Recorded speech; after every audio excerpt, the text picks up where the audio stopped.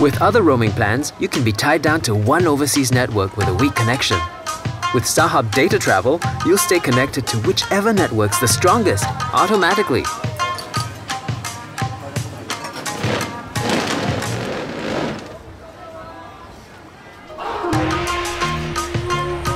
So don't just roam, data travel with StarHub Mobile.